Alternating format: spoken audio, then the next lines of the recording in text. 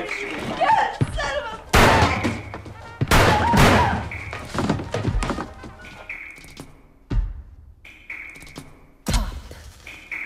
Six. Squish. Uh-uh.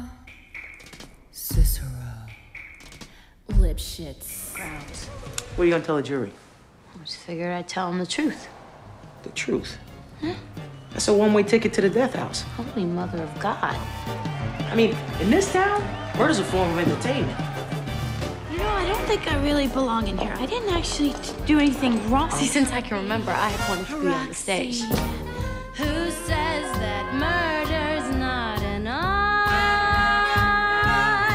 What you need is Billy Flynn. He's only the best criminal lawyer in all of Illinois. Mom talked to you about me. Oh, yeah, right, right, the cute one. Oh, well, I was hoping that you might represent me. You got $5,000?